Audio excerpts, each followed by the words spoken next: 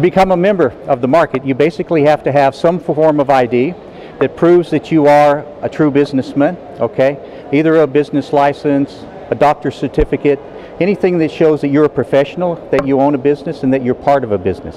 We have around 8,500 different items, uh, all, all items, all the way from TVs and electronics uh, to, uh, to all health and beauty care, F&V, staples. We have a full line assortment for everything that a customer would need. The market is designed for professional customers only. Okay, so you have to be a member. You can't just come to this store and shop. Okay, you have to be a member. Unlike the Mart or digital or, or these kind of products, you, you have to be a member.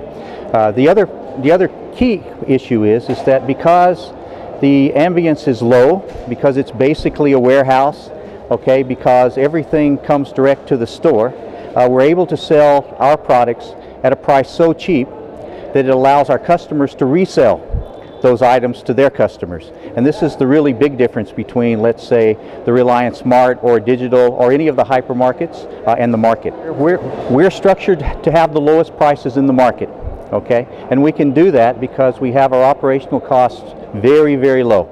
And because we're very focused on keeping our operational costs low, but providing good service, then we're able to give prices that are the lowest in the market, and we work hard to keep them the lowest in the market.